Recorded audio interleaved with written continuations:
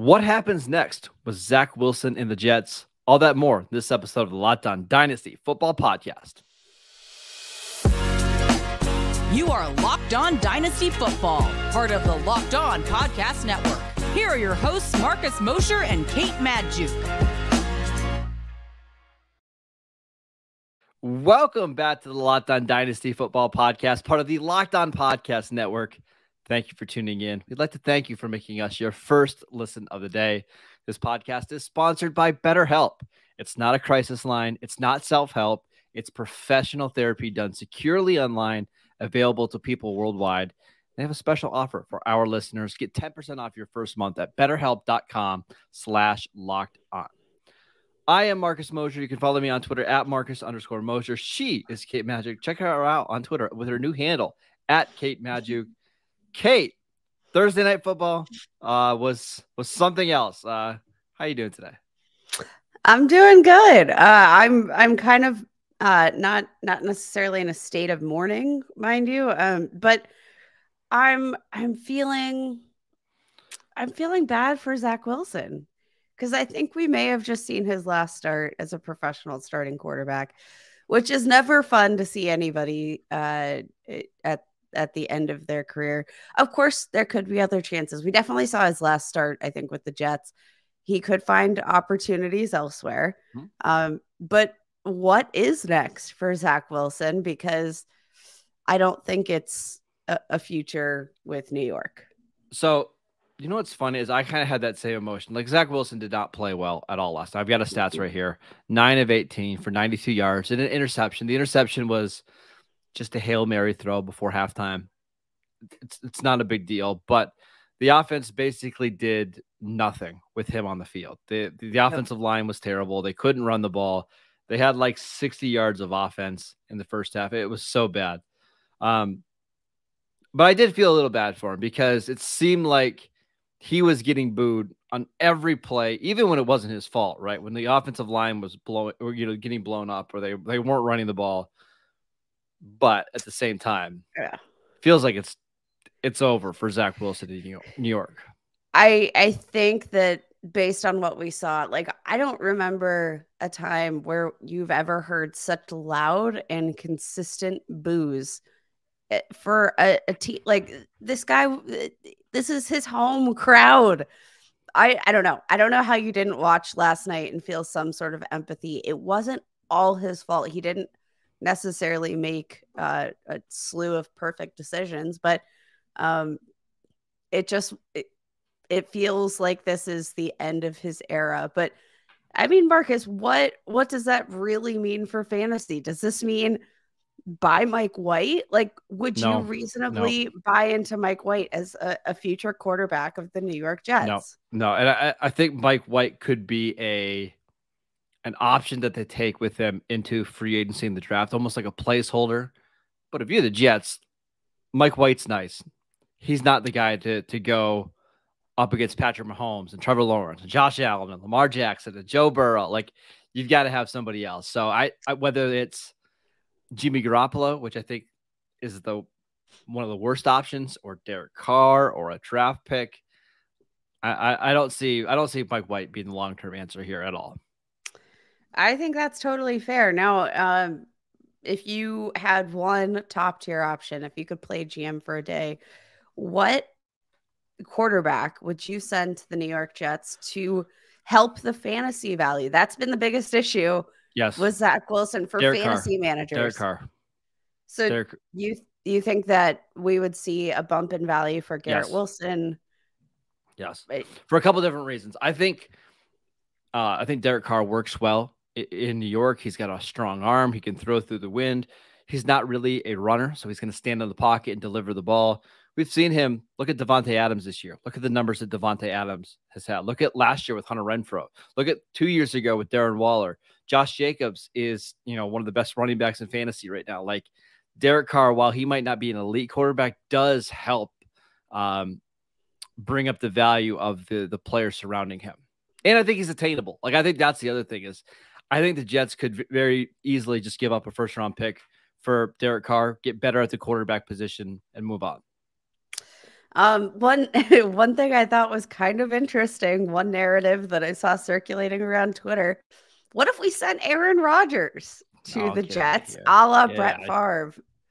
Come on, I It would be kind I of don't- fun just to see how the, the New York media will handle it, but uh, I, I don't see that happening.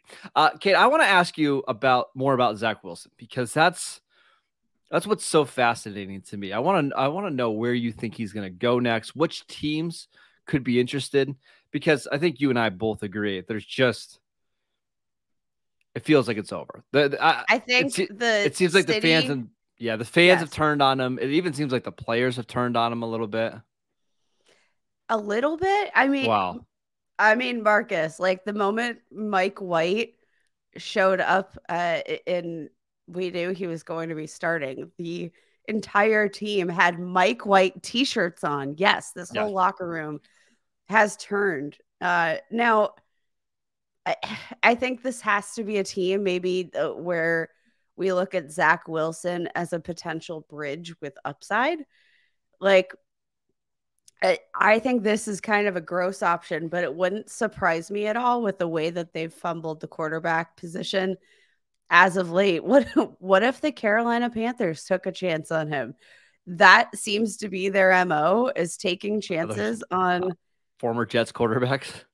on former Jets quarterbacks, on former top tier top tier picks, um, and kind of recycling them to see, oh, well, maybe it was the system. I don't think it's the system for Zach Wilson, but wouldn't it all be surprised to see him end up in Carolina? Or how about the Saints? Uh, The Saints are kind of an interesting option. They've got some solid pieces on the offense. My problem with those two teams, and it comes back to the same thing that's happening in New York, is you're going to teams with defensive minded head coaches that I don't know have the most creative offensive schemes. So would Zach Wilson look better in Carolina? Probably not. I don't think that offense is all that creative. What about the Saints? I, I, Dennis Allen certainly isn't that guy. We haven't seen Pete Carmichael, their offensive coordinator there, get a ton out of Andy Dalton or Jameis Winston, whoever's been under center. I, personally, Kate, I'd like to see him go to a team with a really good offensive line and a really good coach slash play caller who's not necessarily going to ask him to start right away, right? Somebody where he can go and sit and maybe take a year off and work on his fundamentals and get some confidence back. What's that situation? I don't know. Maybe the backup in Philadelphia, right? Maybe you go sit behind Jalen Hurts. Um, maybe you go with San Francisco for a year, who I mean, I know the 49ers really liked him pre draft. Something like maybe you go be the backup to Patrick Mahomes for a year. Like, I, I wonder if that's the best career path here for Zach Wilson now. I think that's the best best career path, but uh, in, in terms of his long term viability, but I just don't. I I don't really see any pathway to fantasy value for Zach No, Wilson. but no. Marcus, like the issue is, there's never been really No. a path to fantasy relevance. He's had four career games where he has finished as a quarterback one for fantasy. That is top twelve. Yeah, yeah. No, eh, we've been we've been talking about this for a while. We just didn't see the upside with Zach Wilson. We weren't the biggest fans of him pre-draft. Um, but for his sake, I hope I hope he lands somewhere this offseason because it's clear they're going to have to move on, right? Like it might not make financial sense to move on for him because he's on a rookie contract, but it's clear he doesn't have the locker room. He doesn't have the fran- or he doesn't have the the fans. Trade him somewhere else and let him try to find success elsewhere. Let's Yeah. let's talk about the Jacksonville side of things because this was another really interesting game, Kate.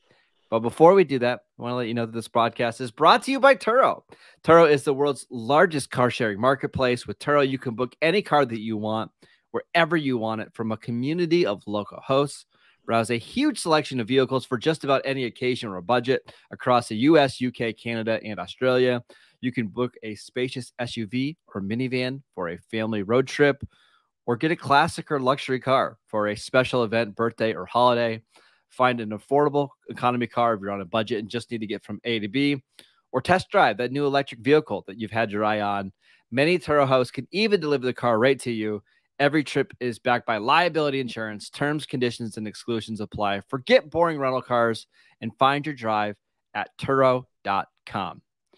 We also want to let you know uh, that this podcast is brought to you by NHTSA. Did you know that driving high is considered driving under the influence? That's right. Driving under the influence of marijuana is against the law in every single state, even in the states where marijuana is legal. That means driving high could get you a DUI. And if you think law enforcement officers can't tell when you're driving high, you're wrong because your friends can tell, your coworkers can tell, even your parents can tell, everyone can tell when you are high. So, what makes you think that law enforcement officers don't know when you're driving high? Driving under the influence of marijuana can slow your response time and change how you perceive time and speed. So, even if you think you feel fine when you're high, you're not. Because the bottom line is if you feel different, you drive different. And remember, driving high is driving under the influence. Drive high, get a DUI paid for by NHTSA. All right, Kate. Uh, let's talk about the Jacksonville side of things. Uh, Trevor Lawrence, 20 of 31, 229 yards, no touchdowns, no interceptions. Did have a rushing touchdown uh, with 50 rushing yards. You'd love to see that. Um, honestly, my takeaway in this this game, I know that the numbers weren't off the charts, but Trevor Lawrence is the real deal. Like in the rain with against that Jets defense, like he just he passed the test. That's that's all I'll say he looks uh, like a whole different quarterback. Honestly, yeah. watching him play this year in comparison to last year, he looks confident. He's he's making decisions and he's executing those decisions. I, I think uh, we have to be all in. Like I, I wanted no part of Trevor Lawrence against this Jets defense, but watching the game, even though it didn't necessarily show up on the stat sheet, like Trevor Lawrence handled the situation. He handled that yeah. defense very well. Yeah. Um, you love to see the uh, the the willingness to run. It was the second game this season with over 50 rushing yards. Um, you know, a really underrated part of Trevor Lawrence's game. And I I think after uh, every time you have one of these instances where you get to see those flashes, it's just a nice reminder that if if he's not going to get it done through the air, that he has those physical tools, those physical traits to take off and and get it done with his legs. Now, for me, like because uh, Trevor Lawrence, he's already been trending in the right direction. I don't think this does a ton for his like his fantasy value in general. Like, if anything, it just kind of confirms that uh, what we've seen over the the course of this season has been probably just what we're gonna get. Like that, we we feel like we know who Trevor Lawrence is. Um, on the year QB five uh, so far, QB. Uh, let's see, QB. Ah, my goodness, sorry, my points per game meter is broken. Uh, uh, QB seven in terms of fantasy points per game, 24 passing touchdowns already on the year. And I don't think any of us would have seen that coming. But now, I, I think again confirms what we already know. What we didn't know, Marcus, is that Evan Engram was going to be Evan Engram again. That's what's interesting.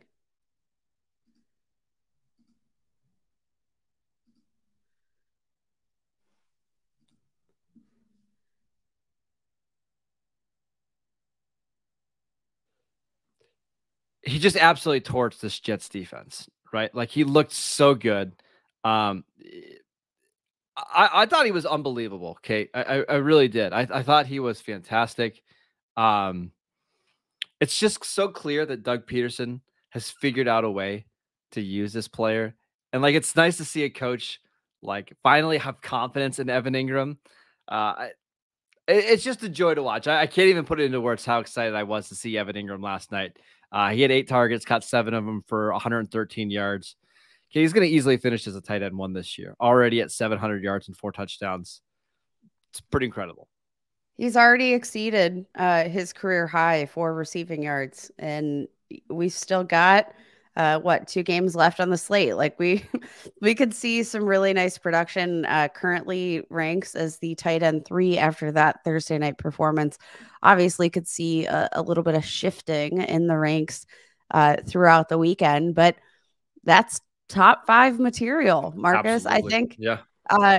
And I think what's even more important to note with Evan Engram is that he was on a one year deal with He's coming back. There's just no way, right? he's coming back and I think he's going to get a very handsome Yes. payday. As he Uh, should.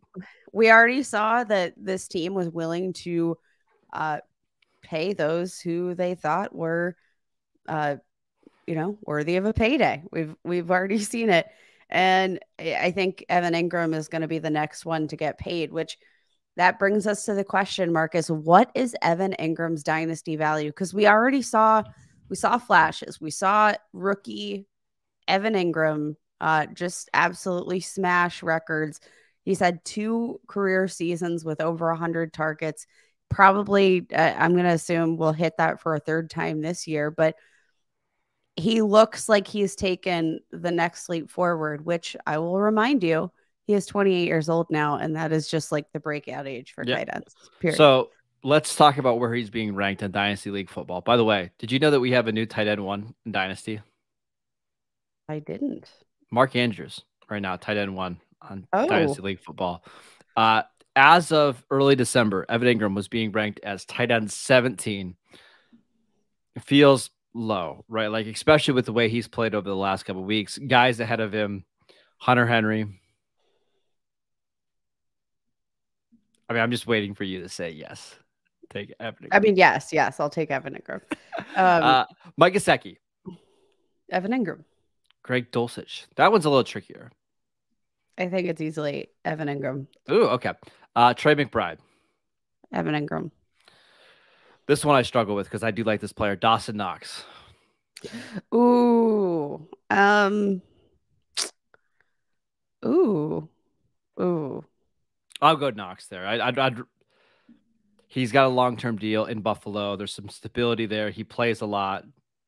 As of right now, I roll with Knox, but a contract situation could, if we see that Evan Engram ends up returning to this Yeah. Jags offense, I do think that it's conceivable that I, I got a really tough one for you. You ready? yes. Darren Waller. Oh, oh, Marcus. Um, I mean that's The part part is we know Waller's upside, right? We saw back to back 1100 yard seasons where he was looked like he was in the same tier as Mark Andrews and everybody else not named Travis Kelce, but he's struggled to stay healthy. Maybe a little bit of an old. unknown in this offense with Josh McDaniels here. Yeah. Um. I, I give the edge to Darren Waller right now, I but would agree. It's just closer than you would think.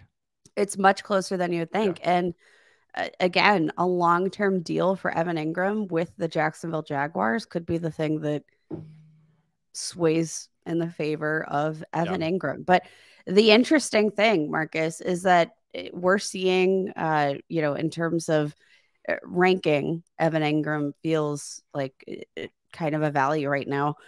In the beginning of December, there were four mock drafts with Dynasty League football, and his average ADP in those drafts, tight end 24. Yeah. Yeah. That's like that's behind uh Jelani Woods, Gerald Everett, Cade Otton, Mike Gesicki. Like, why is Mike Gesicki the tight end 17 in terms of ADP? I don't know. No I don't idea. know because like I I really I can't tell you there uh whatsoever, but I do think there's value to be had there with Evan Engram. And it's a a position that I think is is difficult enough to wrangle in. Um, some recent trades for Evan Engram. A 2023 second and third round pick for Evan Engram. I, I gotta assume this is a tight end premium league. I believe so. Yeah, that's probably fair. That's I I see I when you say probably fair, I think that's a great deal. Um let's see, Evan Engram and tight end Jeremy Ruckert in a 2023 fourth round pick. Thir- the third tight end for the Jets. Yeah, that's do that one in a heartbeat. Uh, Tyler Conklin for Evan Engram and a 2023 third, th- uh, Oh, 2020. yeah. Oh my, that's the hardest thing I've 2023 ever. third round pick. Yep. Thank Yep, you. Yeah, that one. That side.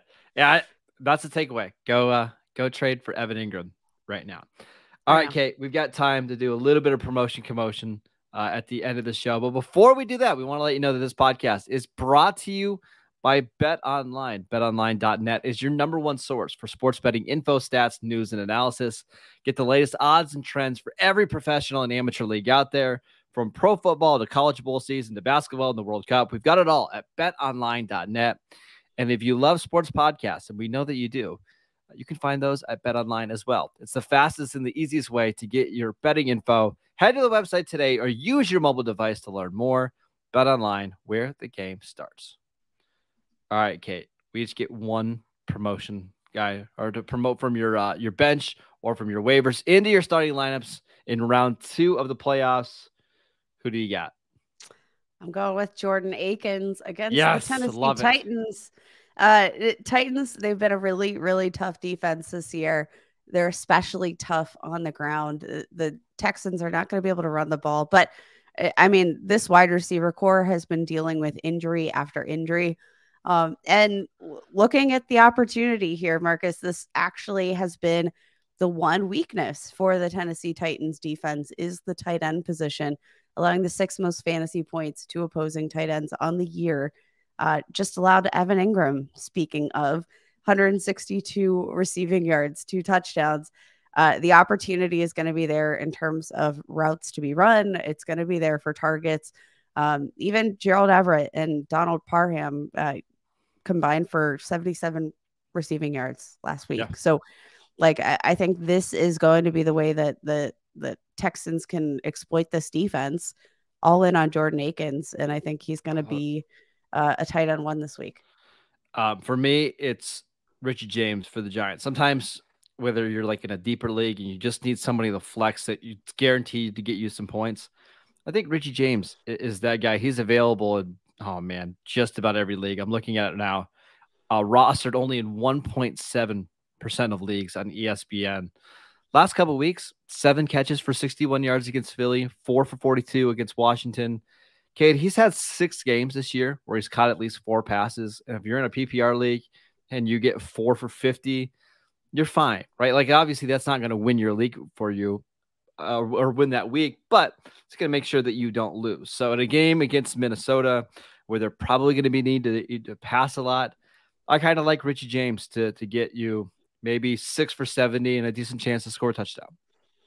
I like that. I I mean, I don't like the uh I never want to bank on New York Giants, Marcus, because that just know. feels a little I dangerous. But I, I think the opportunity is there. I'm going to sneak in one more name that is on my waiver wires uh, in my dynasty leagues. Marquise Goodwin Yes. has yep. a tough matchup against the Bills. It's going to be freezing cold, but Marquise Goodwin is 100% going to have opportunity. Chase against the Chiefs. Sorry.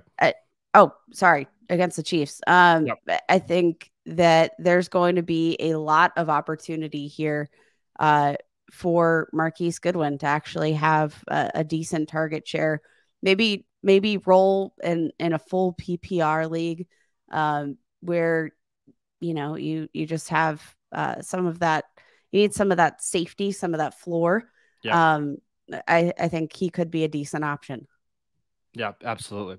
Uh, all right. That is it for today's show. Thank you for tuning in. We'd like to thank you for making Locked On Dynasty your first listen today. Now make your second listen to Locked On Sports Today podcast. Peter Bukowski brings you the biggest stories from around the sports world in 20 minutes. Get the analysis and opinions before anyone else with our local and national experts and insiders. The Locked On Sports Today podcast available on YouTube and wherever you get your podcasts. All the same places that you download the Locked On Dynasty podcast. Check us out on YouTube. Follow Kate on our new Twitter handle at Kate Magdziuk. I'm at Marcus underscore Mosher. Enjoy your Christmas. Enjoy all of the games. Uh, and we can't wait to talk to you guys again next week. Bye, everybody.